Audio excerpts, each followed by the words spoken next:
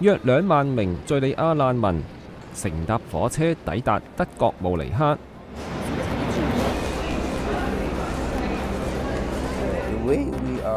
埃及富豪自願向希臘或者係意大利購買島嶼安置敍利亞難民。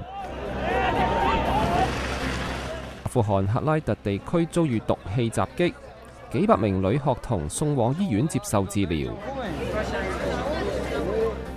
危地馬拉總統選舉初步點票結果顯示，喜劇演員政界新人莫拉雷斯暫時居於領先。